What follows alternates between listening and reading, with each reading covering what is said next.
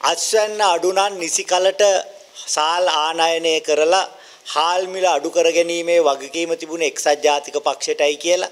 එක්සත් ජාතික පක්ෂයට වරද පටලව පටවල අපිටත් ඔහේ බැන බැන ඉන්න තිබ්බා. අර කලින් ආණ්ඩුව ණයබරයි ණයබරයි කියලා කෑ ගැහුවේ. අන්න ඒ වගේ අපිටත් බැන බැන ඉන්න තිබ්බා. නමුත් අපි ඒ වෙනුවට මොකද කරේ? ජනාධිපතිතුමා ඍජුව මැදිහත් වෙලා සහල් මිල අඩු කිරීමට පියවර ගත්තා. එතුමා සහල් තොග ගබඩා කරලා තියෙන තැන් වලට කඩා පැන්නා. සහල් තොග වෙළඳ පොළට, සිල්ලර වෙළඳ පොළට රහසේ ගියා. ඊළ තුරුතුරු හොයලා ඒවට විසඳුම් හොයලා සහල් මිල අඩු කරන්න කටයුතු කරා. දැන් වෙළඳ පොලේ සහල් මිල අඩු වෙමින් පවතිනවා. එහෙම කියන්නේ මම නෙවෙයි හෙක්ටර් කොබ්බෑ කඩුව ගොවි කටයුතු පර්යේෂණ ආයතනය. පෙබරවාරි 14 වෙනිදා සම්බා දෙවන වර්ගයේ හාල් කිලෝක සාමාන්‍ය මිල රුපියල් 93යි. ඒකම ජනවාරි 14 මේල තොග මිල.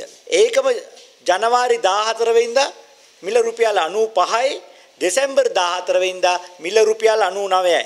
එහෙමනම් පසුගිය මාස දෙක පුරාම හාල් මිල අකණ්ඩව අඩු වෙමින් තිබෙන බව ගොවි කටයුතු පර්යේෂණ ආයතනයේ සංඛ්‍යා ලේඛන වලින් පැහැදිලි.